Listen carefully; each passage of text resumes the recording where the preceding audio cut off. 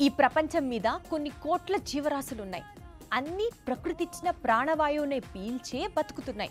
ఒక్క మనిషి మాత్రమే తన స్వార్థంతో ఆ ప్రాణవాయువునే విషమయం చేస్తున్నాడు. చివరకు ఆ విషాన్నే పీల్చి అంతమైపోతున్నాడు. ఇప్పుడు వాయు కాలుష్యం మరణ మృదంగాలను మోగిస్తున్నాయి. అలాంటి నగరాల్లో హైదరాబాద్ ఒకటి. ఈ కాలుష్యభూతం నుంచి తప్పించుకోవాలంటే పబ్లిక్ ట్రాన్స్పోర్ట్కు జై కొట్టడం ఒకటే మార్గం. హైదరాబాద్ మహానగరం కాస్మోపాలిటన్ సిటీ దేశం నలుమూలల నుంచి ఉపాధి కోసం వచ్చే వారిని అక్కున చేర్చుకునే నగరం ప్రపంచవ్యాప్తంగా పెట్టుబడులను ఆకర్షించే నగరం. ఇన్ని ప్రత్యేకతలు ఉన్నాయి కాబట్టే నగరంలో ట్రాఫిక్ కూడా హెవీగా ఉంటుంది. నిత్యం రోడ్డు మీద లక్షల వాహనాలు తిరుగుతూనే ఉంటాయి.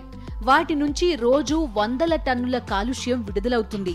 ఆ కాలుష్యాన్ని తగ్గించాలంటే పబ్లిక్ ట్రాన్స్పోర్ట్ వీలైనంత ఎక్కువ వాడడం ఒక్కటే మార్గం. ఆ దిశగా భాగ్యనగరానికి భరోసా ఇస్తున్నాయి ఎంఎంటీఎస్ అలానే మెట్రో ట్రైన్. నేను తిరుమలగిరి నుంచి వస్తాను మోస్ట్లీ మెట్రో. ఫస్ట్ బైక్లో వస్తుండే ఇప్పుడు మెట్రోలో వస్తున్నాను. టైం సేవింగ్ పొల్యూషన్ తగ్గు ఉంటుంది ఇంకా కాలేజ్కి ఎప్పుడైనా లేట్ అవుతుందంటే మాక్సిమం టెన్ మినిట్స్లో మెట్రోలో వచ్చేస్తాను.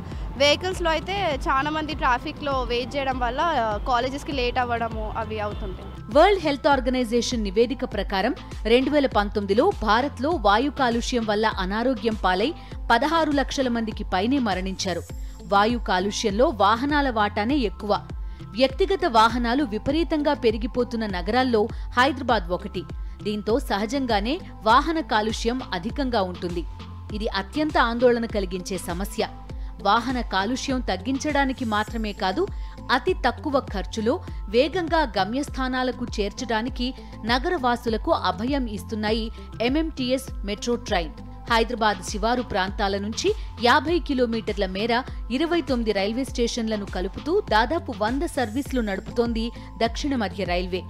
జంట నగరాల్లోని శివారు ప్రాంతాల ప్రయాణికులకు వేగవంతమైన చౌకైన రవాణా మార్గం మాత్రమే కాదు ఎయిర్ పొల్యూషన్ని తగ్గించడంలో ఎంఎంటీఎస్ కీలకంగా వ్యవహరిస్తోంది. నేను లింగంపల్లి దగ్గర ఉంటాను. దగ్గరలో అంటే ఎంఎంటీఎస్ ఉంటుంది. ఎంఎంటీఎస్ ఎక్కితే నాకు వాకబుల్ డిస్టెన్స్లో కాలేజ్ ఉంటుంది. సో మనకి ఇప్పుడు ఎంఎంటీఎస్ అలాంటివి పబ్లిక్ ట్రాన్స్పోర్ట్ వాడడం వల్ల బైక్ మీద బేగంపేట రావాలంటే మనం మాక్సిమం ఒక లీటర్ పెట్రోల్ మీదనే పడతాము.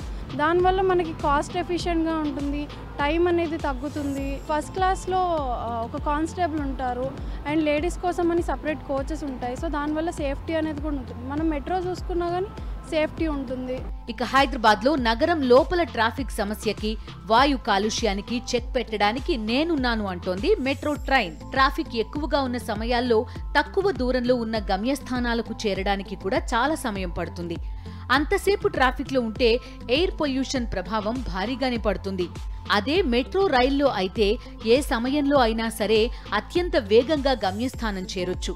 ట్రాఫిక్ అనే మాటకే చోటుండదు. ఎయిర్ పొల్యూషన్ బారిన పడే ప్రమాదం ఉండదు. సుచిత్రాల నుండి వస్తాను.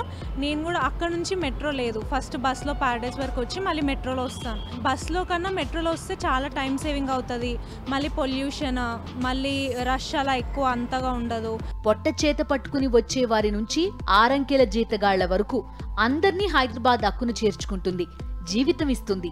ఈ క్రమంలోనే నగర జనాభా విపరీతంగా పెరుగుతోంది. అదే సమయంలో వ్యక్తిగత వాహనాల సంఖ్య పెరుగుతోంది. దాంతోపాటు వాయు కాలుష్యం పడగవిప్పుతోంది వ్యక్తిగత వాహనాల వాడకాన్ని తగ్గించి పబ్లిక్ ట్రాన్స్పోర్ట్ని ఎక్కువగా వాడే విషయంలో హైదరాబాదీస్ ఇప్పటికీ వెనకబడే ఉన్నారు.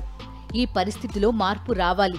పబ్లిక్ ట్రాన్స్పోర్ట్ని అందరూ రోజూ ఉపయోగించకపోతే శ్వాసకోశ సంబంధ వ్యాధుల బారిన పడక తప్పదు.